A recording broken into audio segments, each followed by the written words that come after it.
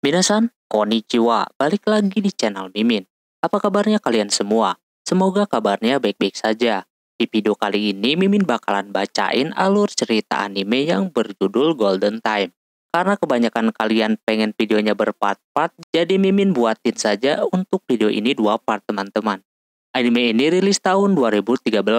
Genrenya drama, romance, dan juga komedi. Oke, seperti apa alur ceritanya? Langsung saja ke video intinya. Audio Jungle. Anime diawali dengan diperlihatkannya seorang pria bernama Tada Banri. Dia baru saja masuk kuliah hari pertama. Namun Banri mendapatkan masalah karena dia baru pindah ke Tokyo. Alhasil, Banri belum hafal jalan menuju kampusnya. Jadinya dia telat di hari pertama yaitu dia tidak mengikuti upacara penerimaan. Dia cuma mendengar kalau seluruh mahasiswa harus menuju ke tempat fakultasnya masing-masing untuk mengikuti orientasi. Si Banri mau nggak mau harus merelakan hari pertamanya itu yang tidak bisa ikut upacara. Dia pindahan dari Shizuoka. Di luar sana banyak mahasiswa lagi bersenang-senang dengan kawannya. Dia cuma fokus nyari tempat di mana fakultas dia yang dia pilih. Bandri masuk ke fakultas hukum by the way. Karena dia kagak tahu arahnya, alhasil itu orang mengikuti cewek yang mau ke tempat yang sama juga. Sampai beli es krim pun dia ikut. Tak berselang lama si cewek tadi kagak jadi beli karena buru-buru katanya. Karena si Bandri sudah ada di depan kasir, alhasil cewek tadi pun sudah menghilang. Dia mencoba menenangkan diri dulu di sana. Tak lama di sisinya ada orang yang lagi makan es juga. Anehnya itu orang bernasib sama dengan si Bandri yang kagak tahu arah ke kelasnya. Mereka berkenalan lah di sana. Nama dia adalah Mitsuo. Kebetulan dia masuk fakultas yang sama macam si Bandri. Setelah mengobrol akhirnya mereka memutuskan untuk mencari kelas itu berada sampai akhirnya mereka bisa menemukannya. Mereka berdua banyak mengobrol di sana terutama soal masa lalu sekolahnya. Mitsuo lulusan di sekolahan Deihara. Katanya itu sekolahan terkenal banget. Bandri menanyakan kenapa dia tidak kuliah di sana saja. Mitsuo nampak menghindari sesuatu dan juga dia pengen keluar dari sana. Biar tidak boring lah orangnya itu-itu lagi. Dan yang paling penting dia ada masalah dengan lawan jenis katanya. Tak lama kemudian ada seseorang yang turun dari taksi. Cewek yang sangat cantik, namun justru Mitsuo ini ketakutan. Orang itu membawa buket gitu yang ingin dia berikan kepada si Mitsuo. Dan yang terjadi cewek tersebut menamparkan bunga tersebut kepada si Mitsuo sambil mengucapkan selamat. Habis itu dia pergi lagi. Bandri malah sebaliknya dia baper melihat cewek cantik kayak begitu. Si Mitsuo udah gemeteran. Karena malu sama yang lewat, Bandri memberikan bunga-bunganya itu kepada orang lain. Setelah itu mereka berdua masuk ke kelas untuk mengikuti orientasi. Nah di dalam sana mereka masih bercerita pasal cewek tadi yang katanya bernama Kagakoko. Dia sahabat si Mitsuo dari kecil, bahkan masuk sekolah sama terus dari mulai TK sampai SMA. Orang tuanya pun kenal. Jadi Mitsuo memilih ke kampus yang lain gara-gara pengen menghindari dari si Koko yang terus mengikutinya. Walaupun dia ditentang sama orang tuanya jadinya harus menggunakan biaya sendiri. Intinya keberadaan si Koko ini sangat mengancamnya. Untungnya si Koko sekarang mau belajar tentang fashion di Prancis. Kalau ada, dia pasti bakalan bawel dan terus mengurusi kehidupan si Mitsuo.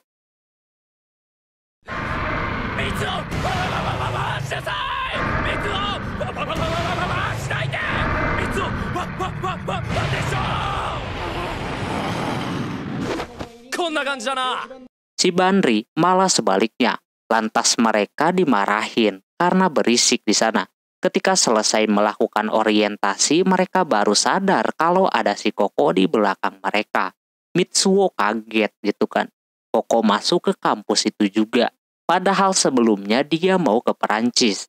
Dia tahu kalau si Mitsuo masuk ke kampus ini gara-gara bapaknya yang suka ikut donasi ke universitas, jadi gampang.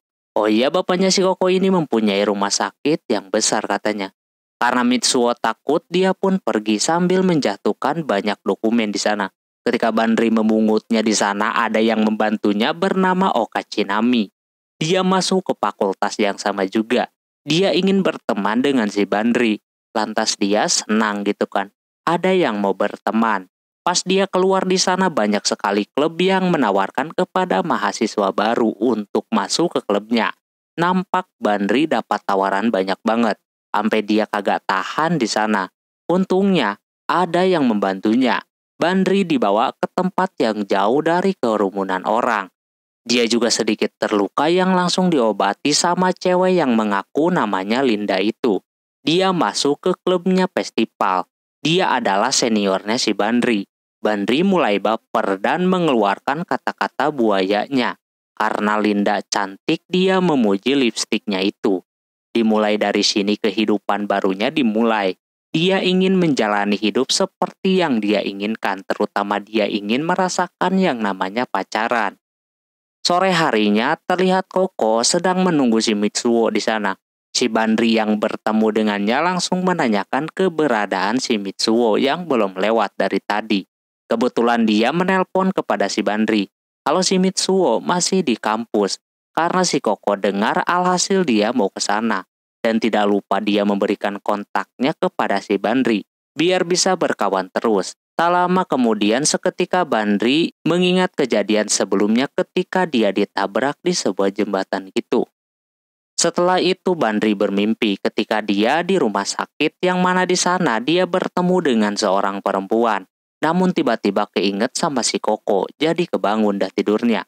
Selepas pergi ke kampus, nampak dia melihat si Koko yang lagi senyum-senyum sendiri, melihat HP-nya. Pas tahu ada Bandri, dia mendekatinya dan memperlihatkan kalau dari tadi dia lagi lihat fotonya bersama si Mitsuo. Nampak emang kedua orang ini dari TK sampai SMA selalu bersama. Si Koko ingin si Bandri menelpon si Mitsuo. Kebetulan orangnya baru datang. Niatnya mau menggocek malah dia ketahuan seperti itu jadilah dikejar-kejar lagi. Tapi Mitsuo lagi-lagi bisa lolos dari si Koko. Karena si Koko ada kelas jadi dia kagak bisa mencari si Mitsuo lagi. Dia meminta kepada si Bandri buat mencari informasi tentang si Mitsuo. Dia masuk ke klub mana dan lain-lain. Dia siap membayarnya. Habis itu dia pun masuk kelas. Terlihat orang ini kesepian banget. Setelah beberapa hari si Mitsuo main ke rumahnya si Bandri, nampak emaknya Bandri mengirim makanan kepadanya seperti itu.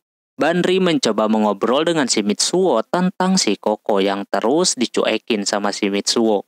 Dia melihatnya seperti kasihan aja kepada si Koko. Bukan apa-apa ya kan. Walaupun dia ini gampang kalau ingin berteman tapi dia rasa Mitsuo harus mengajaknya berbicara. Mitsuo sebenarnya udah kagak pengen ngomong soal beginian. Dia merasa kasihan juga ke si Koko. Namun dia tahu apa jadinya nanti kalau dia deketin lagi. Sekarang ini udah jadi urusan dia kalau soal itu. Dia di sana memberitahu kalau Mitsuo masuk ke klub film. Sekarang dia akan ada acara penyambutan gitu. Dia mengajak si Bandri juga di sana. Si Bandri pun ikut ke acaranya dan terkejut kalau si Okachan ternyata masuk ke klub film juga si Mitsuo sudah dipastikan akan masuk ke klub tersebut karena orangnya pada baik-baik. Si Bandri masih belum memutuskan mau ikutan ke klub mana. Oka ingin Bandri dan Koko juga bisa bergabung. Namun dia kagak yakin soalnya si Mitsuo menghindari adanya si Koko. Tak lama di tempat sebelah lagi ramai banget. Si Bandri kepo ada apa gitu kan. Tahu-taunya pas dia nguping, pintunya terbuka. Ternyata itu dari klub teh. Dia memaksa si Bandri untuk masuk sana. Katanya bahaya kalau udah masuk ke circle mereka. Bandri langsung dipaksa masuk ke sana biar bisa ikutan pesta dengan klub teh. Karena kagak bisa diselamatkan, dia pun terjebak dan di dalam sana isinya orang-orang kagak jelas semua. Dia yang udah trauma minum teh darinya ditawarin lagi. Si Bandri auto nolak di situ jadinya dia disuruh buat adu sumo sama orang yang di sebelahnya bernama Nejigen. Mereka berdua menurutinya seperti itu. Si Bandri udah kagak tahan ingin keluar. Keesokan harinya terlihat pas mau ke kampus dia kurang tidur gara-gara pesta semalam. Tak lama ada si Koko yang lagi nungguin di depan gerbang. Si Mitsuo mau lewat belakang dan dia memperingatkan kepada si Bandri untuk tidak memberitahunya kalau dia masuk ke klub film. Sebenarnya dia ingin Mitsuo menemuinya dulu, kasihan ya kan. Tapi ya udah lah ya. Dia pun ke sana sendirian dan masuk ke kelas. Seperti biasa si Koko sendirian. Setelah beres kelas, pas mau pulang si Bandri dihalangin sama banyak senpai yang nawarin dia buat masuk klub. Untungnya si Linda menolongnya lagi kali ini. Sekarang emang udah benar-benar waktunya para klub menawari kepada para juniornya. Jadinya dia mengajak si Bandri buat berkeliling. Namun pas melihat ada si Koko yang lagi sendirian, dia jadi kagak jadi. Dia menganggap kalau si Bandri dan Koko ini berpacaran. Dia tahu dirilah kalau si Koko ini cantik dan juga kaya raya. Abis itu si Linda pergi dan Bandri menghampiri si Koko. Sialnya itu orang ditawarin pesta lagi sama klub teh semalam. Tentu dia keberatan melihat ada Koko di sana. Anehnya kedua orang ini langsung pergi. Koko merasa kalau dia sendiri terus. Terus dia juga kagak ada yang nawarin buat masuk klub. Harusnya kalau ada Mitsuo, dia kagak begini. Dari dulu dia selalu bersama, namun ketika masuk kuliah rasanya berbeda. Bandri kasihan sebenarnya, tapi dia takut si Koko cuma nyari simpati si Bandri doang. Tak lama ada orang lagi yang menawarkan masuk klub. Kali ini kedua orang ini ditawarin sekaligus mengajak ngobrolnya langsung di kafe gitu. Entah dia di sana kagak menyebutkan nama klubnya, namun menjelaskannya saja sampai malam hari injir. Intinya klubnya bakalan ada kemah tiga hari dua malam. Dia harap Koko dan Bandri mengikutinya. Sehabis itu mereka pun pulang. Kedua orang ini kemungkinan akan mencoba ikut berkemah sama klub yang nawarin mereka tadi. Si Koko di sana langsung pulang duluan.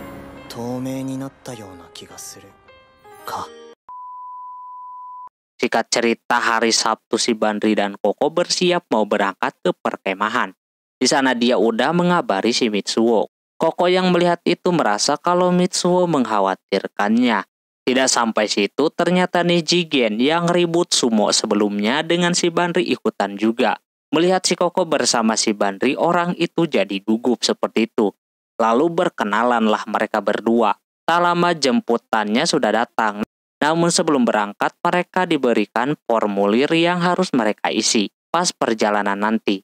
Ini aneh ya kan?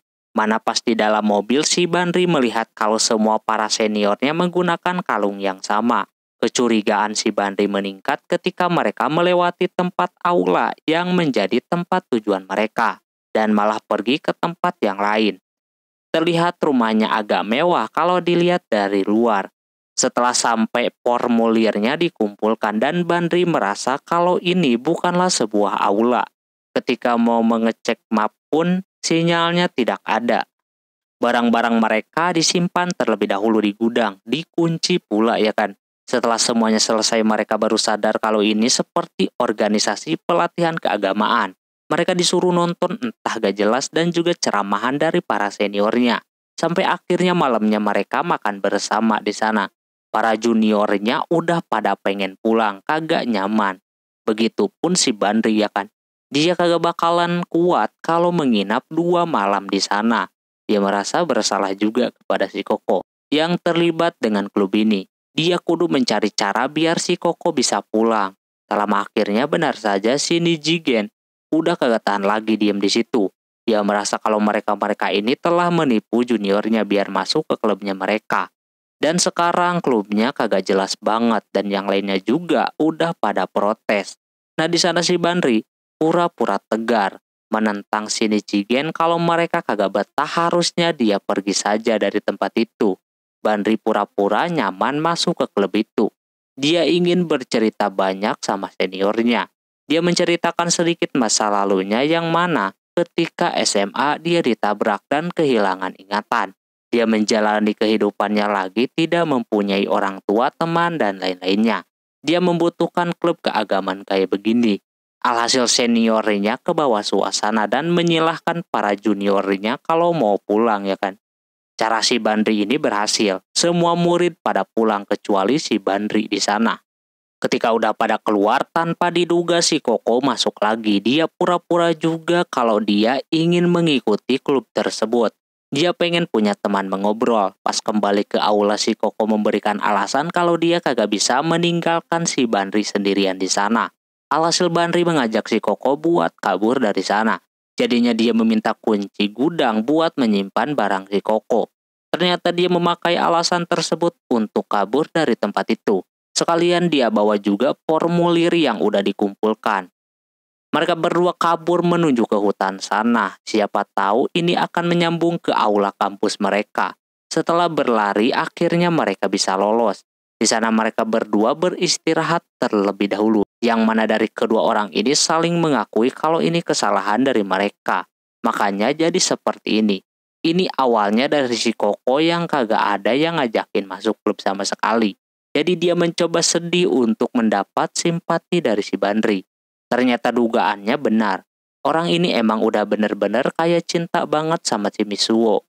Mungkin dengan adanya begini si Mitsuo bakalan khawatir sama dia dan nanti si Koko tidak bakalan dicuekin lagi.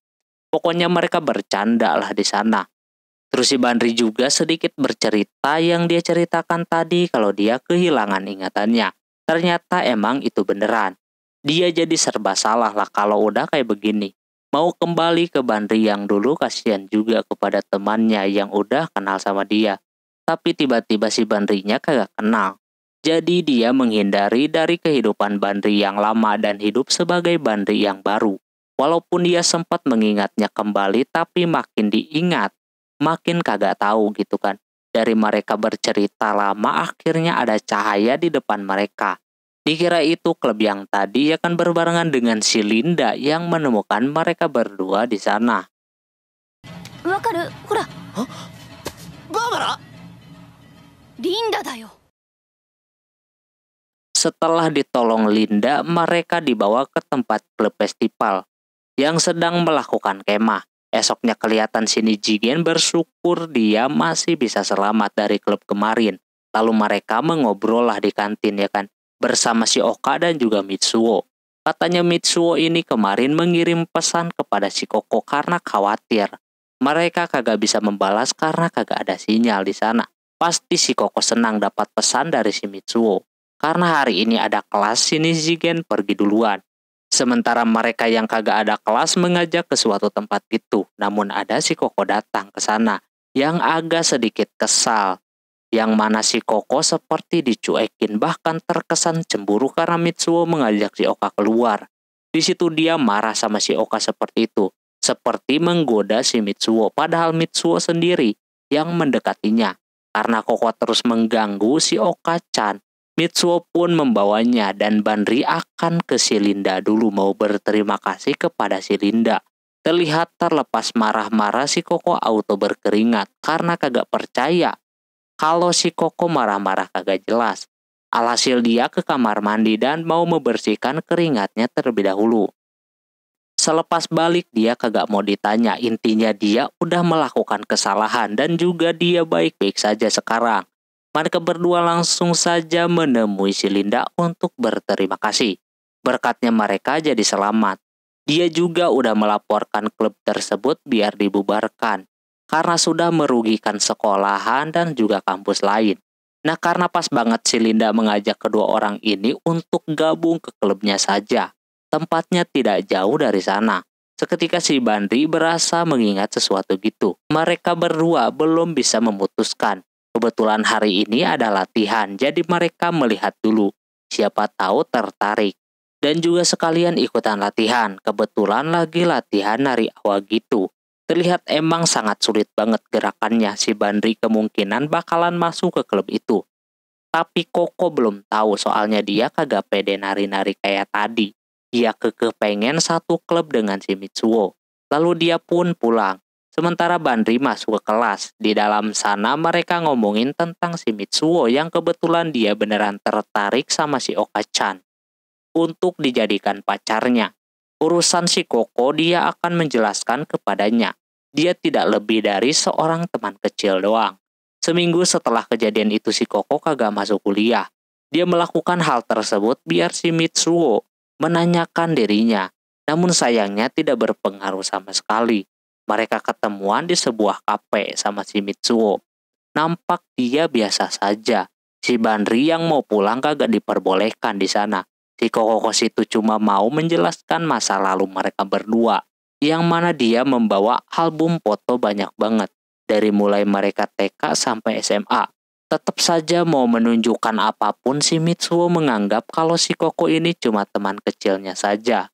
Dia juga jujur kalau Mitsuo menyukai seseorang dan itu bukan si Koko orangnya, melainkan si Okachan. Di situ dia menangis dan mencoba mengungkit masa kecilnya lagi. Walaupun waktu kecil si Mitsuo pernah ngomong pengen nikah sama si Koko, tapi kan itu masih kecil ya kan.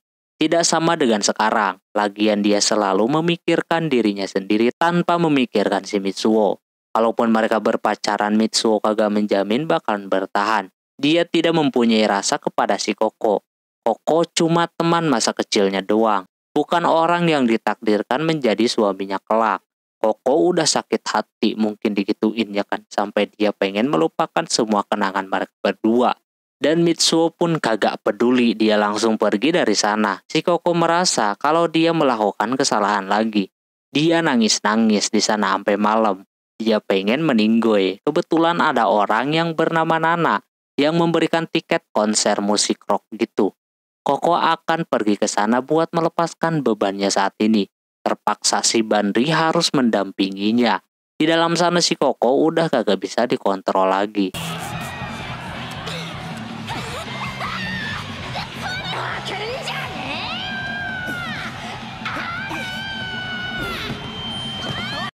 Sampai akhirnya karena si Koko udah lemas, dia dibawa ke kosannya si Bandri. Di sana pun Koko masih menangis, masih mengingat kejadian sebelumnya. Yang mana emang salah dia juga ya kan. Dia cuma mengejarnya doang. Dia tidak bisa membayangkan nantinya di kehidupan dia tidak ada si Mitsuo. Si Bandri pun sebenarnya pernah mengalami hal yang sama yang mana dia takut banget menjalani Bandri yang sekarang. Banyak orang yang mengharapkan Bandri yang dulu bisa kembali lagi. Dan kalau itu terjadi Bandri sekarang bakalan hilang lagi. Nanti orang-orang bakalan menyesal kembali. Tapi si Koko kagak masalah dengan Banri yang sekarang. Soalnya kalau dia mengingat semuanya lagi, si Banri akan menghilang dan tidak pernah kenal dengan si Koko. Karena Banri orang yang menemani si Koko terus, dia tidak ingin si Banri menghilang juga. Secara spontan di sana si Banri bilang kalau dia kagak akan menghilang. Karena dia menyukai si Koko. Tateh, 加賀さんのことが好きだよ本当に Lantas dia kaget ya kan si Bandri bilang seperti itu. Dia bilang ketika situasinya seperti ini. Jangan lupa besok mereka harus kembali ke tempat semalam. Soalnya tasnya ketinggalan di loker. Karena hari udah mau pagi si Koko pun pulang dan mengirim pesan kepada si Bandri. Kalau dia belum bisa menjawabnya. Si Bandri karena hari itu libur, dia pulang ke kampungnya dan mencoba melihat album ketika dia masih SMA. Nah, di sana banyak foto berjatuhan dan yang mengagetkannya, di sana terdapat foto dia bersama si Linda.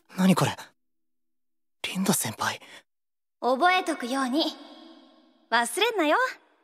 Tada Setelah tahu kalau Linda dekat dengannya, si Bandri lari ke tempat di mana dia waktu itu ditabrak dan kehilangan ingatannya. Walaupun dia coba ke sana, tapi tetap kagak ingat apa-apa. Dia aneh di sana. Tak lama si Mitsuo menelponnya. Dia mau ke rumahnya katanya, tapi si Bandrinya lagi kagak ada di rumah. Dia sedih di situ dan muncullah arwahnya yang gentayangan. Setelah itu si Bandri pulang lagi di perjalanan diceritakan bagaimana arwahnya itu terus mengikuti si Bandri yang sekarang. Yang di mana arwah yang mengikutinya itu adalah arwah ingatan si Bandri masa lalu. Selepas dia ketabrak dan dirawat di rumah sakit selama dua bulan, si Bandri kagak boleh keluar dari sana dan tiba-tiba saja menjadi mahasiswa. Arwah Bandri ini selalu mengikuti si Bandri ke mana pun. Setelah itu si Koko bertemu dengan si Bandri di sana. Si Bandri dikasih kayak cermin gitu buat nandain kalau mereka berdua ini berteman baik lah gitu. Tahu sendiri kalau si Koko masih belum bisa memutuskan kalau dia ingin pacaran dengan si Bandri atau tidak. Bandri terima saja pemberiannya tersebut. Habis itu dia pulang. Bandri masih penasaran sama si Linda. Dia yakin Linda sebenarnya udah tahu siapa si Bandri. Esoknya pas ke kampus dia bertemu dengan si Mitsuo. Nampak setelah kejadian dia dengan si Koko dia kagak enak sama dia. Dan juga ke si Oka juga dia agak nggak enak. Nah kebetulan Koko sudah ada di sana. Auto dah orang ini seperti caper gitu. Pamer kalau dia sama si Bandri sudah berkawan dekat kayak begitu. Kalau di dongeng udah kayak biarawati dan pengembala domba yang suka mengasih keju kepadanya. Sedangkan si Mitsuo udah kayak pemburu yang dia ingin hindari setiap hari. Kelihatan mukanya udah kagak karuan. Mendengar ocehan si Koko. Lama kemudian si Linda memanggil si Koko karena dia lagi ngajarin mendaftarkan buat masuk kelas. Bandri masih aneh di sana, dia merasa Linda pasti tahu siapa dia dan kenapa Linda masih menutupinya. Bandri juga tak lupa memperkenalkan si Mitsuo.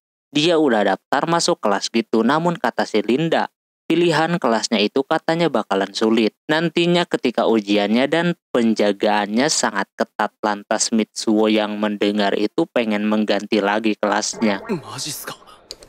Ara, ara, ara. Mitsuo tara nan... Oh, dia langsung pergi dari sana. Sementara kedua orang ini, karena belum masuk klub, alhasil Koko memutuskan buat masuk ke klubnya saja bersama si Bandri. Mereka berdua langsung diajakin latihan, walaupun awalnya Koko kagak pede, namun sekarang kagak lagi katanya. Kebetulan musim panas nanti mereka bakalan tampil di acara festival musim panas. Mereka akan membawakan tarian awa. Jadinya mereka latihan dari sekarang. Bandri dan Linda disuruh mengikuti aja gerakannya yang kelihatan dia udah kayak robot itu.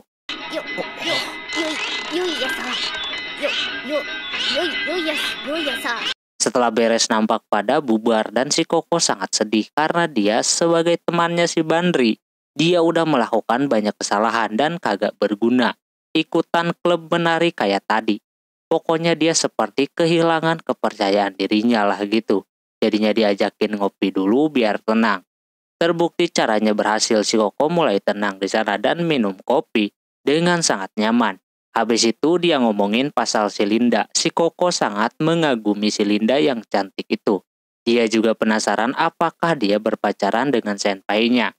Atau mungkin dia mempunyai pacar orang lain. Sepulangnya dari sana, malamnya dia masih memikirkan si Linda sampai akhirnya diperlihatkan dulu ketika dia dirawat di rumah sakit. Yang kurang lebih dia habiskan dua bulan di rumah sakit untuk penyembuhannya. Dia memberikan keluhan kepada susternya. Kalau setiap jam 11 di luar sana suka ada yang jalan-jalan menggunakan senter. Dia dimarahin karena jam segitu lampu rumah sakit sudah dimatikan.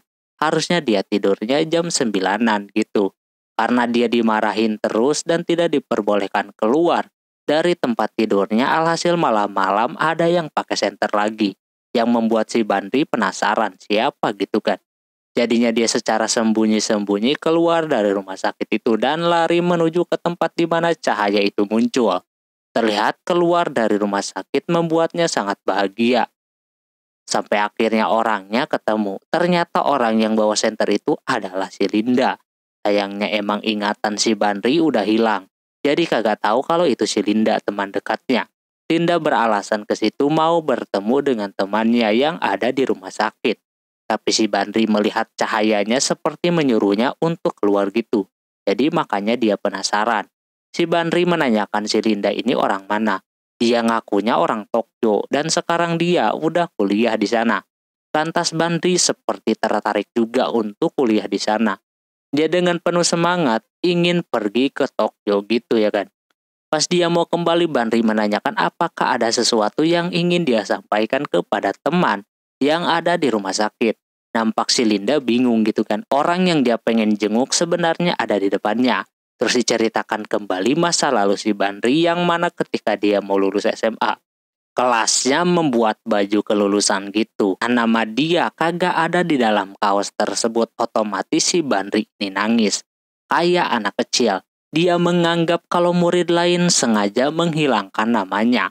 Linda yang melihat itu langsung menenangkannya. Dia akan memulangkan kembali kaosnya tersebut. Linda sangat khawatir sama si Bandri. Dia nanti bakalan kuliah di Tokyo. Entah nasib si Bandri nanti bagaimana. Setelah itu mereka merayakan kelulusan mereka di luar kayak begitu. Sesudahnya mereka berdua pun pulang bareng. Di tengah jalan, Bandri menanyakan apakah si Linda bersedia menjadi pacarnya. Kalau dia diterima, Bandri akan ikut kuliah ke Tokyo, katanya. Si Linda belum memiliki jawabannya, dia akan menunggunya di jembatan untuk tahu jawabannya tersebut. Tak lama kemudian kembali ke masa sekarang. Terungkap emang sebelum kehilangan ingatan si Bandri menyukai si Linda. Namun belum tahu jawabannya. Orang-orang menganggap Linda dan juga Bandri itu adalah saudaraan. Sekarang pun dia suka sama si Koko, tapi Koko menganggapnya sebagai teman doang. Setelah itu si Bandri ikutan klub di sana. Dia mencoba sepatu yang menurutnya sepatu itu pas di kakinya. Yang lain merasa kaget dia akan membeli sepatunya tersebut. Katanya harganya 5000 yen. Aslinya 20.000 yen itu sepatu. Ternyata sepatunya itu punya si Linda alhasil karena cocok buat si Bandri. Jadinya sepatu itu diberikan secara percuma padanya. Selepas beres latihan Bandri dan Koko minum kopi dan di sana dia menanyakan hubungan Bandri dengan si Linda. Seperti ada sesuatu gitu, cuma Bandri tidak memberitahu tentang masa lalunya kepada si Koko. Dia ingin si Banri bercerita jika ada sesuatu. Tak lama datang si Oka Cinami. Seketika si Koko yang males sama dia langsung kabur karena ada kelas katanya. Hal ini membuat si Oka aneh. Di sana Oka mau mengajak si Bandri untuk ikutan pesta penerimaan anggota klub pembuatan film.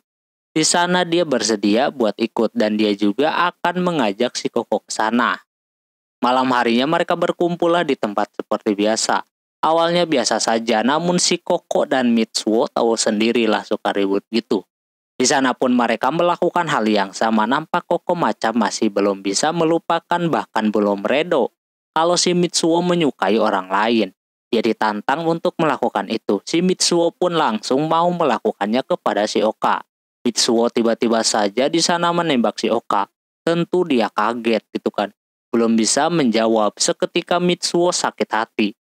Dan Koko kagak percaya kalau si Mitsuo melakukannya. Karena kedua orang ini risih, kebetulan di sampingnya ada klub teh. Auto dah mereka dimasukin ke ruangan sebelah.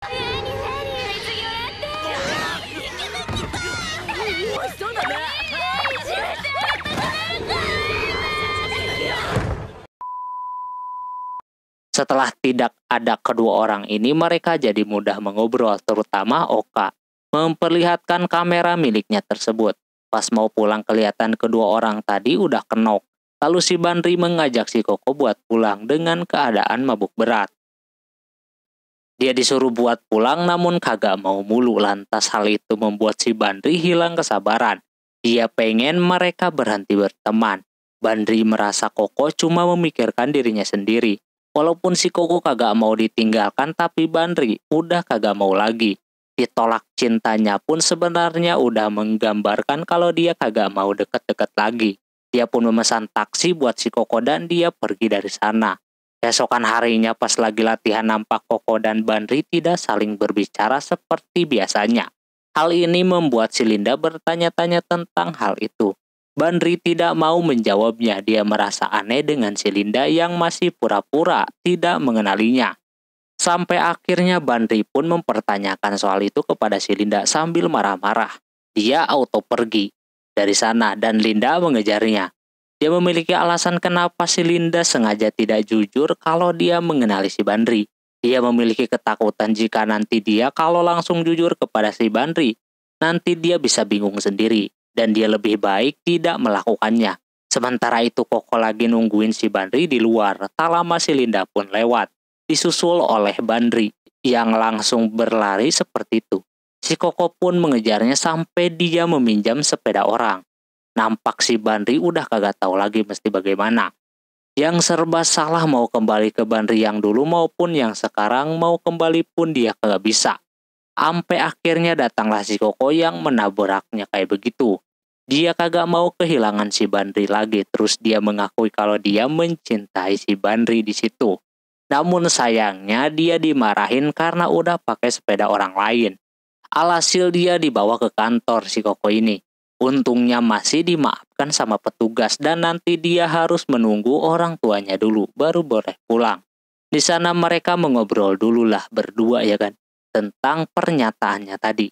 Si Bandri mengira si Koko masih kagak mau move on sama si Mitsuo. Tapi katanya dia kayak berasa belum pantas aja sama si Bandri. Tapi setelah tahu kalau dia kagak bisa kehilangan si Bandri, barulah dia merasakannya. Sebenarnya dia pun dulunya punya pemikiran buat kagak pacaran dulu. Eh tahunya sekarang malah dia menyatakan cintanya kepada si Bandri. Dia memintanya untuk menolaknya saja. Namun Bandri kagak mau berbarengan dengan bapaknya datang ke kantor itu sekaligus menjemputnya untuk pulang. Uniknya si Koko langsung memperkenalkan si Bandri ini sebagai pacarnya kepada bapaknya tersebut. My boyfriend.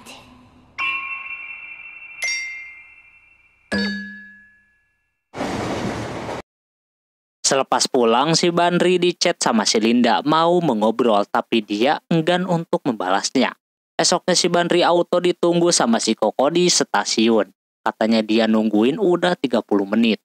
Dia mau nunjukin sebagai pacarnya harusnya dia itu menjemputnya sampai depan rumah. Biar makin lama berduaan, si Bandri yang ingin melakukan hal yang sama tidak diperbolehkan.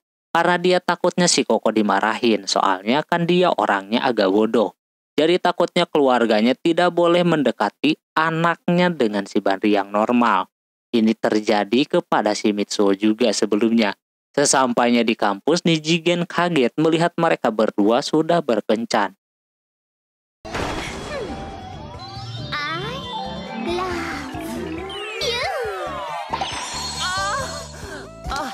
Tak lama Mitsuo datang dengan penampilan barunya.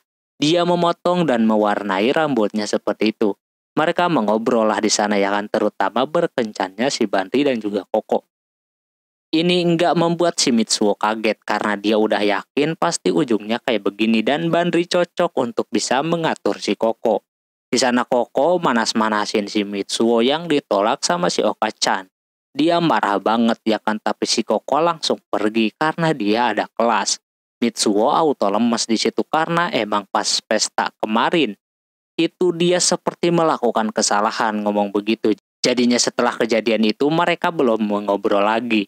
Dia ingin ngobrol kayak biasa saja kalau ketemu. Tapi tak lama kemudian pas si Okanya datang, si Mitsuo-nya malah kabur karena malu. Padahal Oka jam pertama ini kosong. Dia juga tidak menganggap pernyataan si Mitsuo kemarin itu benar-benar. Tak lama ada si Linda, si Banri pun ikutan pergi. Setelah berkencan dengan si Koko, Banri dan Koko selalu berangkat bareng. Istirahat bareng pulang selalu bersama. Di tengah itu Linda masih terus mengechat si Banri. Namun dia kagak bales-bales sampai di mana si Koko mau ke rumahnya si Bandri. Dia beresin buku dewasanya gitu biar kagak ketahuan. Pas si kokonya datang, si Bandri udah panas dingin. Soalnya dia mau duduk di bangku gitu. Ditambah dia kepo apa yang ada di kotak itu. Dia ngomong kalau di dalamnya cuma sayuran kiriman dari emaknya. Ketika mereka mengobrol sambil mengopi, berasa ada yang kurang gitu. Harusnya ada cemilan. Dia rasa di kotak itu ada kentang. Dia buka lah ya kan. Eh dia kaget isinya ada gituan jir.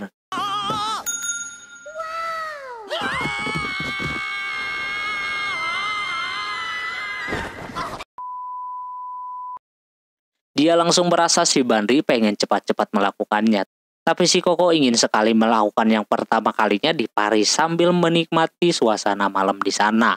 Terus mereka pun pergi. Bandri jadi kagak sabar, dia kagak tahu caranya pergi ke Paris walaupun cuma pesen tiket. Tapi tetap saja butuh dana. Dia benar-benar kagak sabar. Pas naik elevator di sana ada orang yang kagak sabaran gitu. Esoknya Bandri kembali berkuliah dan kembali Linda mengirim pesan. Cuma dia kagak balas. Ternyata si Nana ini adalah temannya si Linda. Dia membantu masalah yang sedang dia hadapi.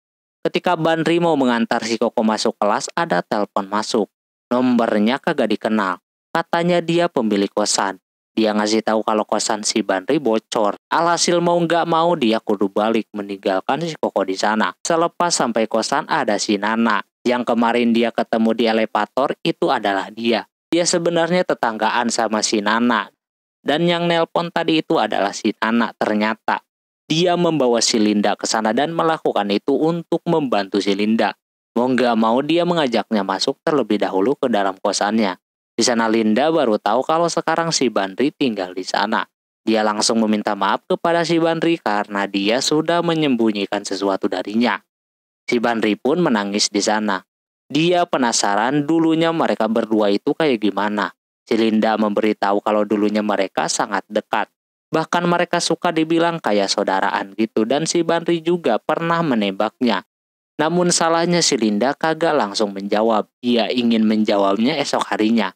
Sampai akhirnya enggak kesampaian, si Bandri keburu kecelakaan dan kehilangan ingatannya. Tak lama kemudian ada yang nelpon. Dia memberitahu si Bandri kalau si Mitsuo sedang dalam masalah. Diceritakan lagi masa lalu di mana ketika itu si Bandri mendengar kalau si Linda tidak menyukainya. Dia bilang dia cuma melindungi si Bandri doang. Dia yang ketahuan nguping auto marah sampai beberapa hari si Linda dicuekin. Sampai di mana pas hujan terlihat Linda hujan-hujanan. Dia menyesal karena udah ngomong kayak begitu. Dia sebenarnya kebalikan dari omongannya alias dia menyukainya. Dari situ mereka mulai berbaikan lagi dah. Terus ternyata yang nelpon itu si Koko. Dia menyuruhnya untuk ke rumahnya si Mitsuo. Langsung saja di sana dia mau ke sana.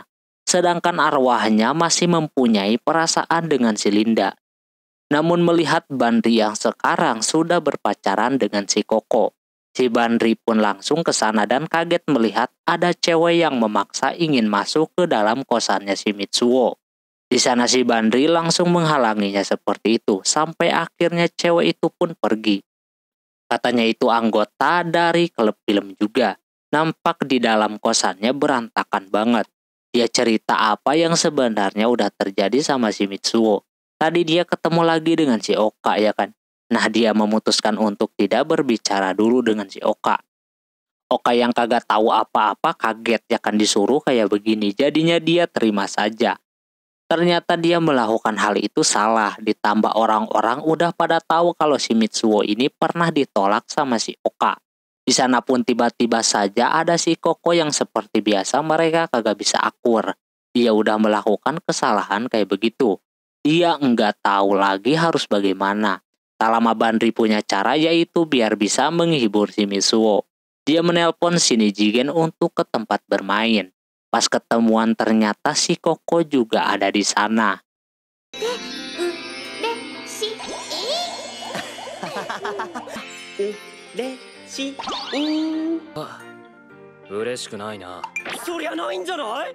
Katanya tadi dia kebetulan lagi di kelas yang sama dengan Shinichi Gen. Jadi ikut dah. Walaupun keberadaannya sangat tidak diharapkan sama si Mitsuo sampai mereka harus ribut kayak begitu. Tak lama ada telepon masuk dari si Oka-chan. Mereka bingung mesti gimana, alhasil sama si Koko diangkat. Dia terus terang saja kalau mereka lagi di taman bermain dengan tujuan mau membuat si Mitsuo bahagia lah intinya. Bukannya dia mau mengundang tapi demi Mitsuo dia menyuruh si Oka buat ke situ juga. Lantas ini membuat si Mitsuo bingung mesti gimana. Terus Bandri dan Koko menunggu di gerbang tiket masuk. Sebenarnya si Koko pengen berduaan main di situ tapi sekarang bukan saatnya.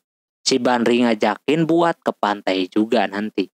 Tak lama si Oka datang ke sana. Dia saking buru-burunya sampai kagak jelas membawa mie. Sekali lagi Koko mengundang dia cuma kasihan saja kepada si Mitsuo. Karena dia teman kecilnya, jadi jangan sampai si Oka ini menyakitinya lagi. Lantas si Koko ini udah ikut campur urusannya si Oka-chan. Padahal dia sendiri enggak menyakiti si Mitsuo sama sekali. Tak lama kameranya pun jatuh gitu. Dia hampir nangis di sana sampai akhirnya si Koko menutupinya kayak begitu. Biar Banri kagak bersimpati kepada si Oka ini. Sampai di mana dia udah kagak sedih lagi dan dia pengen di video. Di video itu dia melakukan hal konyol yang membuat mereka berdua tertawa. Habis itu di dalam sana mereka main-main lah ya kan.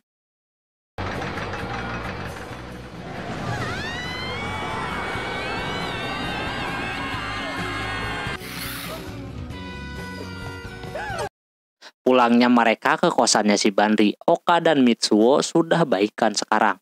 Nijigen punya ide kalau mereka akan membentuk perkumpulan gitu biar misal mau main atau mau apa mereka bisa berkumpul kayak begini. Mereka pun pada setuju dan menginap di kosannya si Bandri. Subuh-subuh orang ini sudah terbangun. Karena belum ada yang bangun, dia mengechat si Linda. Nampak dia udah bangun, jadi mengobrol lah di balkon.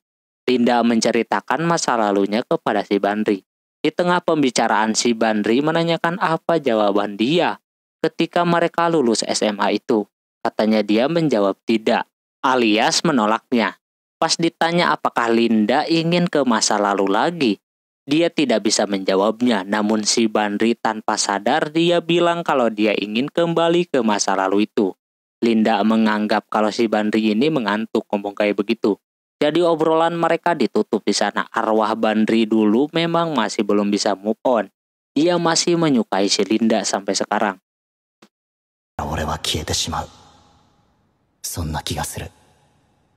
Singkat cerita, pagi-pagi si Koko dan Oka bakalan pulang duluan. Nampak Koko tidak baik-baik saja di sana. Setelah masuk kuliah, benar saja si Koko katanya demam, jadinya kagak bisa masuk. Sudah beberapa hari dia kagak masuk kuliah, sampai akhirnya hari Minggu dia masuk lagi. Karena dia ingat kalau hari ini ada latihan. Dia emang belum sembuh total. Ketika mau latihan si Bandri dibecandain sama seniornya. Untungnya ada si Linda datang. Nah si Koko di sana agak sedikit entah cemburu atau gimana gitu kan. Pas memakai baju buat festival nanti pun si Koko seperti kagak bersemangat. Sampai akhirnya ketika pulang si Koko masih begitu saja. Ditambah hujan pula ya kan. Nah baru habis itu Koko bisa mengungkapkan apa yang sedang dia rasakan sekarang. Dia seperti takut gitu kepada si Bandri. Takutnya dia mutusin dan tidak mencintainya lagi. Maklum cewek emang suka seperti itu, overthinking lah. Untungnya si Bandri bisa menenangkannya seperti itu. Arwahnya yang melihat kejadian itu katanya dulu waktu SMA dia juga pernah menenangkan si Linda. Diceritakanlah sewaktu si Bandri dan Linda dekat. Di sana ada kakaknya seorang pelatih sepak bola yang katanya dia bentar lagi bakalan nikah sama gadis yang cantik dan juga pintar masak. Dia akan dikenali sama si Bandri. Dia mau-mau saja. Linda nampak tidak bahagia mendengar kakaknya mau menikah. Ternyata dia cerita kepada si Bandri kalau dia melihat tunangan kakaknya pergi berduaan dengan laki-laki. Dia berasa kasihan sama kakaknya. Kejadian itu belum ia laporkan karena dia kagak mau bikin kakaknya sakit hati. Tapi daripada gitu dia ingin langsung memperlihatkan buktinya tersebut kepada keluarganya. Biar pernikahannya tidak jadi. Alhasil di sana dia akan mengikuti tunangannya tersebut dan nanti dia akan memotonya. Pas sampai di apartemen beneran saja tunangannya itu turun bersama laki-laki dan masuk ke apartemen. Bandri mengajak untuk memergokinya, biar buktinya semakin kuat ya kan. Namun seketika si Linda ini kagak bersemangat lagi untuk mengerjakan rencananya tersebut. Sampai akhirnya dia menyadari kalau melakukan ini seperti anak kecil. Dia menghapus foto yang diambil tadi, lalu selepas tunangan kakaknya keluar, si Linda mendekatinya dan pengen mengobrol dengannya di dalam mobil. Awalnya sempat nolak, tapi dengan adanya Bandri mereka pun bisa mengobrol. Terlihat habis ngobrol orang itu nangis-nangis dan kagak mau mengulanginya lagi katanya. Habis itu mereka berdua pun pulang. Nampak laki-laki tadi terus memantau mereka berdua yang membuat si Linda ketakutan. Selepas melakukan itu si Linda merasa kalau hal yang dia lakukan tadi itu salah. Dia tidak memikirkan untuk kakaknya nanti. Coba saja kalau dia mengirimkan foto yang tadi mungkin kakaknya bisa mendapatkan jodoh yang lebih baik. Tapi apa daya, semuanya sudah dia lakukan. Tapi Bandri akan selalu mendukungnya. Mau bagaimanapun dia akan selalu ada di sisi si Linda. Nah dimulai dari situ perasaan si Bandri terhadap Linda makin besar sampai akhirnya musim dingin dia menembaknya.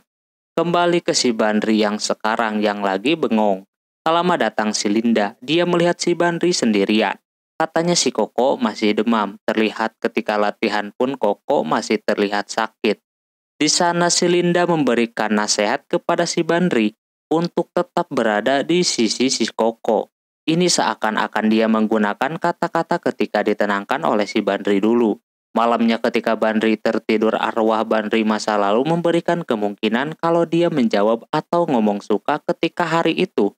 Kemungkinan ke depannya bakalan berbeda. Mungkin dia sudah berpacaran dengannya. Ketika dia menutup matanya, seketika si Bandri terbangun. Tubuhnya susah buat digerakkan, yang membuat si Bandri terjatuh. Dia merasa aneh, ternyata arwah Bandri tadi masuk ke dalam tubuh Bandri yang sekarang. Bandri merasa aneh tiba-tiba saja dia ingin bertemu dengan si Linda. Pas dia mau keluar dia terpleset yang membuat dagunya terluka. Setelah jatuh itu perlahan dia mulai kembali lagi dan Bandri kembali tidur. Pagi harinya dia merasa enggak enak badan. Dicek suhu tubuhnya suhunya hampir mencapai 40 derajat. Sudah dipastikan dia demam. Dia harus cepat-cepat ke rumah sakit dalam keadaan lemas kayak begitu. Sebenarnya Bandri udah kagak kuat di sana. Namun untungnya ada si Nana yang mengetahui si Bandri ini kayak udah sekarat. Alhasil dia anterin si Bandri ke rumah sakit. Dia tidak menyangka si Nana ini baik hati. Dia juga ngomongin tentang si Nana yang dulu ketika masih satu klub dengan si Linda, yang mana dulu mah masih ramah ini cewek. Setelah sampai dan Bandri sudah selesai diperiksa, akhirnya mereka pun pulang. Nampak sebelumnya si Nana mengabari seseorang gitu. Setelah dianterin si Bandri terus mengoceh pasal si Nana. Padahal kondisinya sudah lemah seperti itu. Pas nyampe lantai atas ternyata udah ada Linda di sana. Dia yang mengabarkan si Linda sebelumnya. Nana malas ngurusinnya lagi.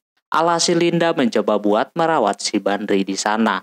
Sekalian karena si Bandri ini lapar, maka dari itu si Linda membeli sesuatu terlebih dahulu. Sebelum nantinya minum obat. Entah mengapa si Bandri kelihatan sumringah banget diurus sama si Linda kayak begitu. Mau enggak baper gimana ya kan dia disuapin, dimanjain sama si Linda kayak begitu. Tapi yang harusnya ada di sana itu bukan si Linda melainkan si Koko. Dia juga udah mengabari si Koko untuk ke sana. Setelah dimanjain sama si Linda, dia ampe lupa sama si Koko. Koko udah kayak cewek yang ada di mimpinya doang. Tapi semisal kalau dia beneran kagak datang berarti emang Koko cuma cewek dalam mimpinya saja. Tak lama si Koko pun datang ke situ dengan melihat mereka yang sedang berduaan. Dia menganggap kalau si Bandri telah selingkuh karena berduaan kayak begitu. Tapi dia bercanda ngomong begitu. Dia berterima kasih kepada si Linda yang sudah menjaga si Bandri. Padahal si Koko sendiri di sana masih sakit. Sekarang tidak perlu khawatir lagi karena Koko yang akan menjaganya. Tak lama kemudian teman-teman yang lainnya pada datang, yaitu Nijigen dan juga Mitsuo. Di sana Nijigen berkenalan dengan si Linda. Terlihat dia senang banget kalau berkenalan sama cewek. Padahal dia tidak tertarik sama cewek 3D. Lalu si Koko terus mengoceh. Dia baru tahu juga kalau si Nana ini adalah tetanggaan sama si Bandri. Dan juga dia temannya si Linda. Dia baru tahu juga. Si Bandri juga lupa memberitahunya. Ini udah dipastikan si Bandri selingkuh. Namun dia menyalahkan si Nana karena kalau dia nggak memanggilnya mungkin kagak akan begini. Tapi Koko baik-baik saja sekarang. Si Mitsuo malah melihat si Koko sebelumnya kagak begitu. Dia benar-benar khawatir kalau si Bandri ini selingkuh. Tidak lupa mereka berdua selalu ribut kayak begitu kalau udah berduaan. Terus Linda menanyakan tentang rencana liburan musim panas kepada mereka-mereka ini. Nampak masih belum ada rencana. Si Linda paling dia mau ke festival terus pulang kampung. Soalnya dia bukan orang Tokyo asli.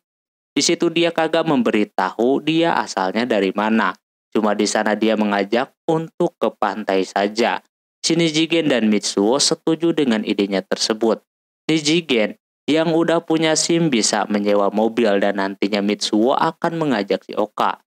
Mereka harus pergi bareng-bareng. Si Linda kagak percaya kalau dia diajakin juga. Tak lama Banri tertidur. Bangun-bangun udah malam aja nih. Terlihat demamnya sudah turun dan di sana si Koko setia menunggunya kayak begitu. Dia belum pulang padahal masih sakit. Tapi Koko udah enggak merasakan sakit di sana. Dia meminta maaf karena belum bisa menjadi pacar yang baik. Dia ingin menunjukkan itu kepada si Bandri. Tapi melihat perlakuan si Linda, dia lebih pantas mendapatkannya dibandingkan dia. Tapi si Bandri tidak mementingkan itu. Lalu dia memeluknya. Terus pasal pengen ke pantai si Koko ingin nanti si Bandri bisa mengajaknya ke pantai berduaan doang. Tidak perlu ke Paris ke pantai pun jadi kalau cuma berduaan. Banri kagak menyangka si Koko ngomong seperti ini. Banri akan melakukannya nanti dan mengajak si Koko ke pantai. Karena dia merasa kalau Banri masih sakit, jadinya si Koko menyuruhnya untuk kembali beristirahat.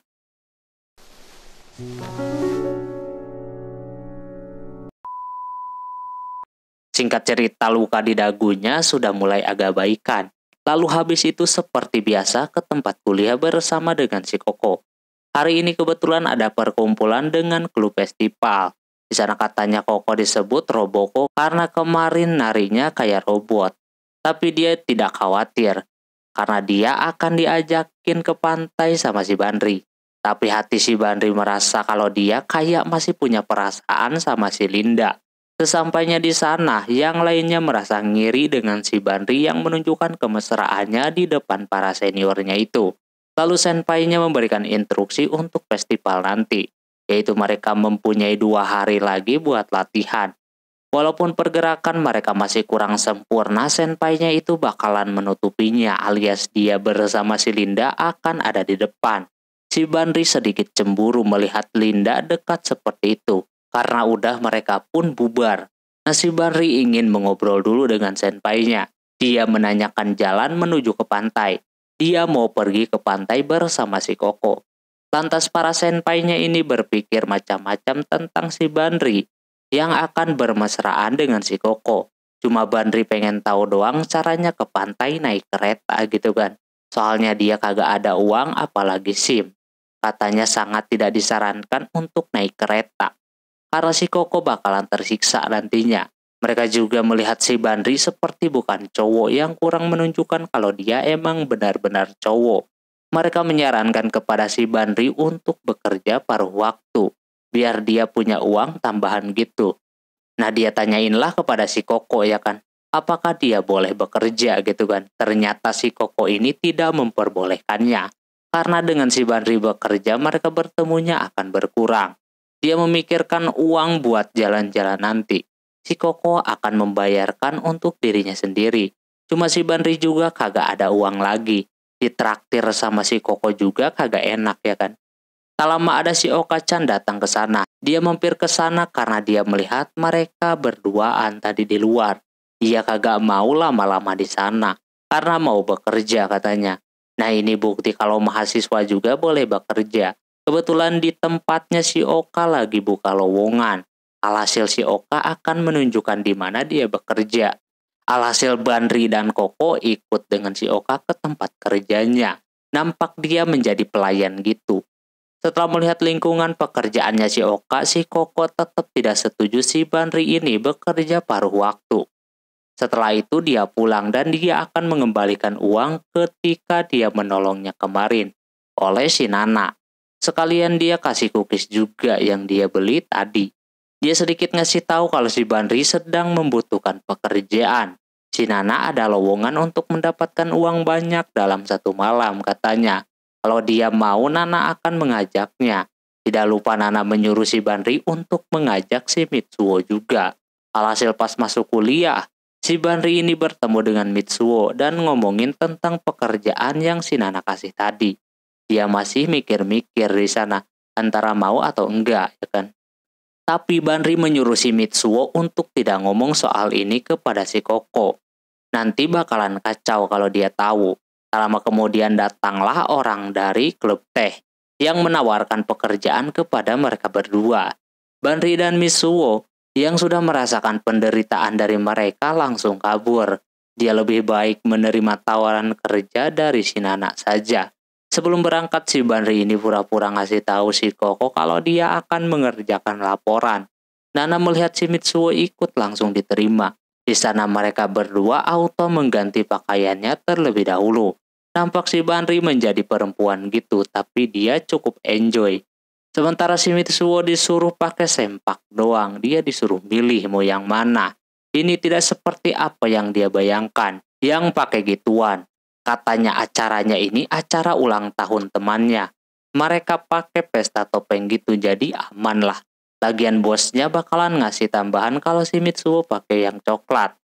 Dengan percaya dirinya karena waktunya udah mepet, alhasil si Mitsuo mau melakukannya. Di acara tersebut mereka cuma menjadi pelayan doang, namun awalnya pasti masih malu.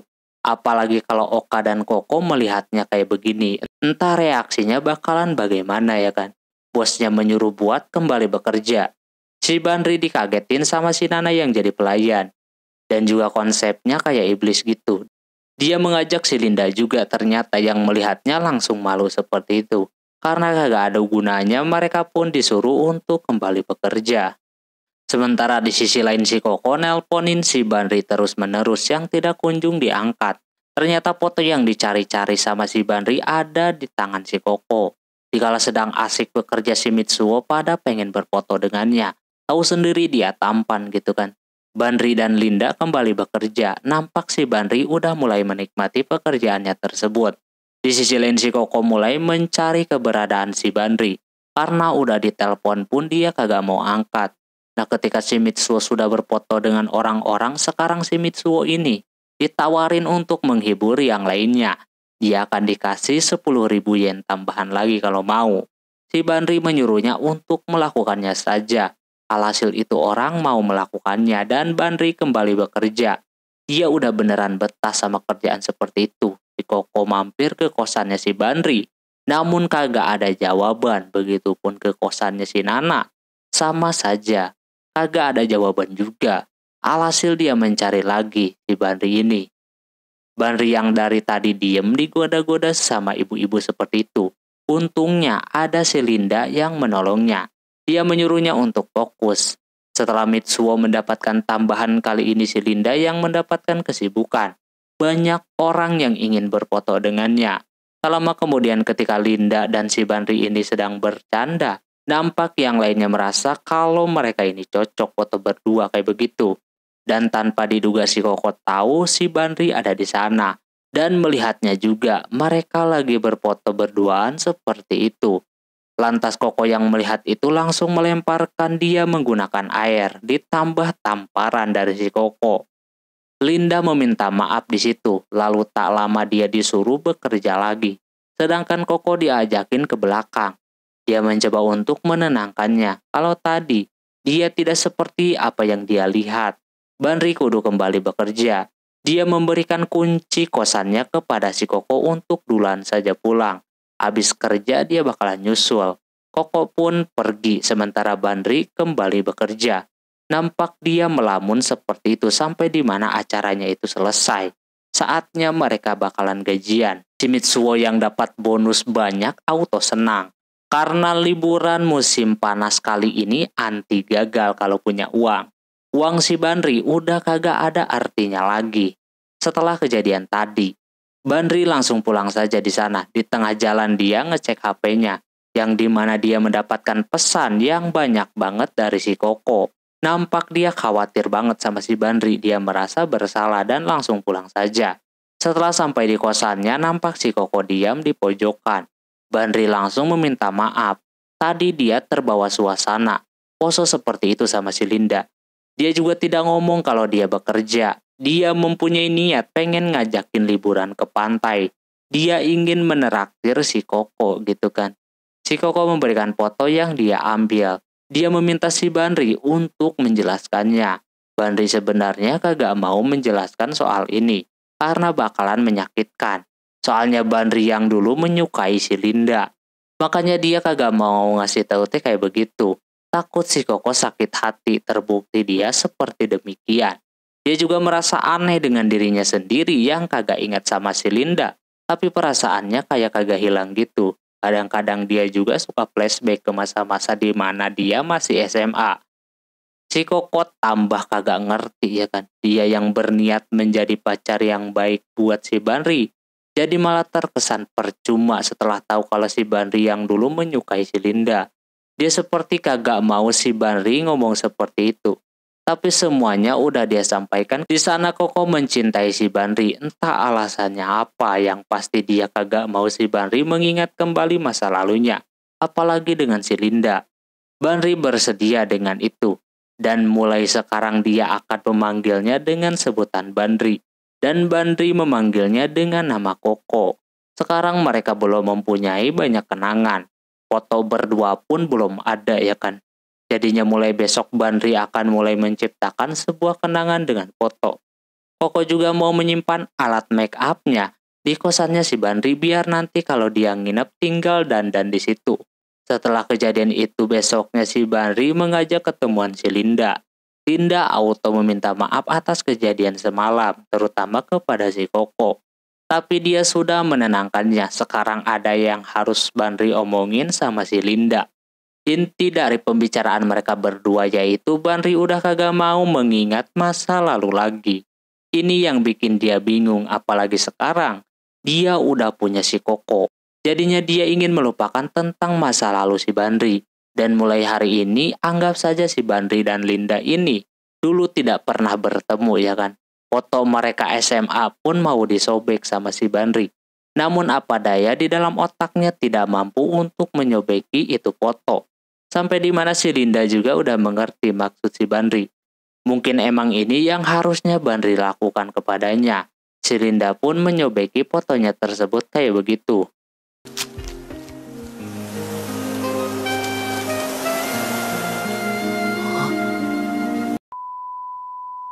Setelah itu si Banri balik lagi ke kosannya. Di sana dia bersama si Koko yang sedang mengambil gambar untuk kenang-kenangan mereka berdua. Hubungan mereka berdua pun udah kembali membaik. Oke mungkin segitu dulu untuk episode kali ini. Bila anime ini mau dilanjutkan silahkan like yang sebanyak-banyaknya. Mohon maaf bila ada kesalahan dalam penyebutan nama, tempat, atau yang lainnya. Dan sampai jumpa di video selanjutnya. Ya nih. Bye bye.